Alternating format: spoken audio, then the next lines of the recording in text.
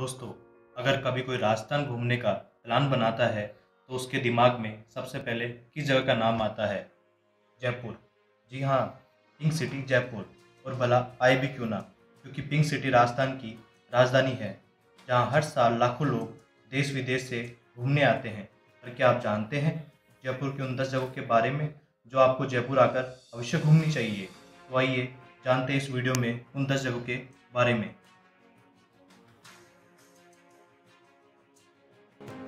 नमस्कार दोस्तों, आपका स्वागत है आपके अपने YouTube चैनल बिंदास प्लेनेट पर, जहाँ हम आपके लिए नॉलेज और फैक्ट से जुड़ी वीडियोस लेकर आते हैं। तो चलिए दोस्तों, इस वीडियो को शुरू करते हैं। इस लिस्ट में नंबर 10 पर है कनक घाटी।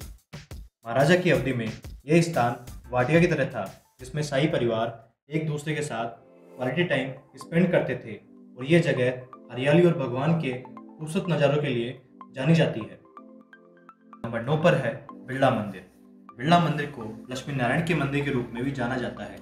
इसका निर्माण सन उन्नीस सौ अठासी में बिरला द्वारा किया गया था। इस मंदिर की दीवारों पर देवी देवताओं की सुंदर नक्काशी की गई है। इस मंदिर में सुकरात, क्राइस्ट, बुद्धा, कन्फ्यूसियस जैसे कई ऐतिहासिक और आध्यात्मिक संतों के चित्र भी देखने को मिलते हैं।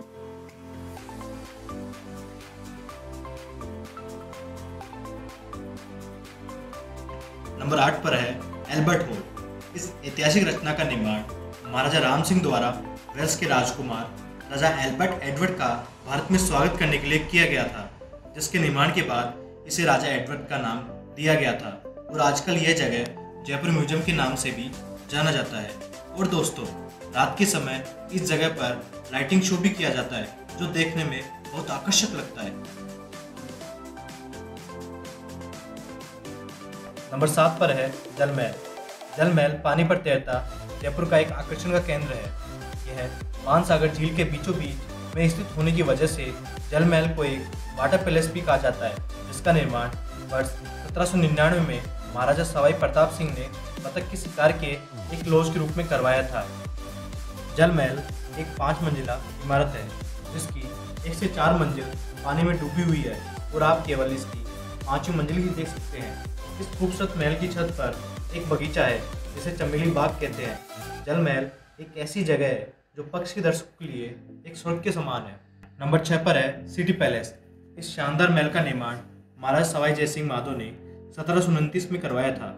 इस खूबसूरत महल में कई इमारतें, विशाल आँगन और आकर्षक गार्डन है, जो इसकी राष्ट्रीय इतिहास का गौरव है। इस महल में चंद्र महल, मुबारक महल जैसे मैथुन महल है। नंबर पाँच पर है जंतर मंतर जंतर मंतर दुनिया में सबसे बड़ी पत्थर से बनी खगोलीय वेशशाला है। जंतर मंतर का निर्माण राजा सवाई जयसिंह ने 1727 से लेकर 1733 में करवाया था। इस विशाल वेशशाला को बनाने का उद्देश्य अंतरिक्ष और समय के बारे में जानकारी इकट्ठा करना और उसका अध्ययन करना था।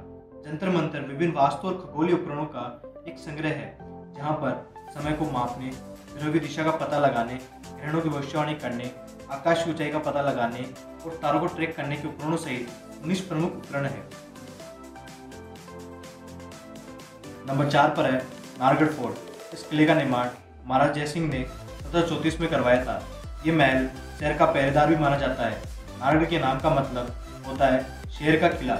इस किले की खास बात यह है कि इस किले पर आज तक किसी ने आक्रमण नहीं किया। इस किले में बहुत सी फ़िल्मों की शूटिंग हुई है, जिनमें जोधा अकबर रंग दे बसंती सुदेशी रोमांस समेत कई फ़िल्में शामिल है। नंबर तीन पर है हैगढ़ फोर्ट इस खूबसूरत इमारत को सवाई जयसिंह द्वितीय द्वारा सन सत्रह सौ छब्बीस में अमेर किले की सुरक्षा के लिए बनाया गया था। यह किला चट्टान के शीर्ष पर बंधा हुआ हरे भरे और विशाल जंगलों से घिरी एक महलनुमा संरचना है। आपको बता दें कि शानदार किले से आमेर किले तक एक सुरंग जाती है और इसे विजय का किला के रूप में भी जाना जाता है। इस किले की सबसे बड़ी खास बात यह है कि इस किले में दुनिया की सबसे बड़ी तोप है। नंबर दो पर है आमिर फोर्ट। आमिर का किला अरावली पहाड़ियों की चोटी पर स्थित है। यह किला अपनी वास्तुशिल्प कला और इतिहास की वजह से जाना जाता है। आमिर का किला भारत में इतना ज़्यादा प्रसिद्ध है कि यहाँ हर रोज़ करीब पाँच हज़ार लोग घूमने के लिए आते हैं। इस किले का नाम आमिर यानी भगवान शिव के एक नाम अंबिकेश्वर पड़ा है। पंद्रह सौ बानवे ईस्वी में राजा मान सिंह ने किले का निर्माण किया और इस महल में शीश महल और दीवाने आम भी स्थित है। नंबर एक पर है हवा महल हवा महल का निर्माण राजा सवाई प्रताप सिंह ने सत्रह सौ निन्यानवे में कराया था। इसका उद्देश्य राजपूत महिलाओं को झरोकों में से सड़क पर हो रहे उत्सव को देखने की अनुमति देना था। हवा महल राजस्थान के सबसे प्राचीन इमारतों में से एक है। इसमें कई झरोके और खिड़कियाँ होने के कारण हवा महल को पैलेस ऑफ़ विंड्स भी कहा जाता है। भगवान श्री कृष्ण के मुकुट जैसी इस पाँच मंजिले इमारत में नौ सौ तिरपन झरोके हैं, जो मधुमक्खियों के छत्ते से भी मिलते जुलते हैं।